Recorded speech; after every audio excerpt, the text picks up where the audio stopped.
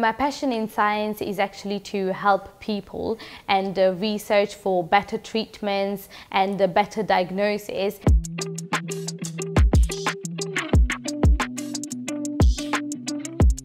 This course uh, helped me a lot to increase my passion for science because it has um, a lot of modules that uh, give you an overview. So you have like chemistry and biology, a little bit of physics.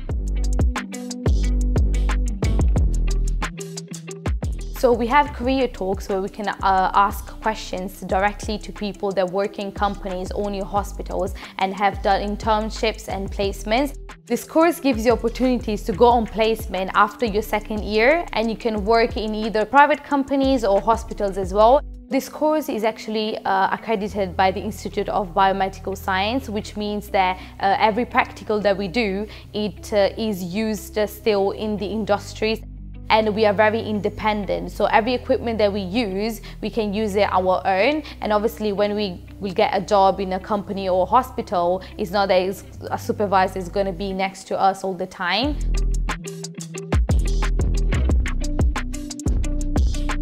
My favorite part of the course is actually uh, laboratory practicals where we can apply our knowledge gained from the lectures in the real life. Uh, so the facilities in the labs are really good and the equipment are very similar to those in the private companies and hospitals.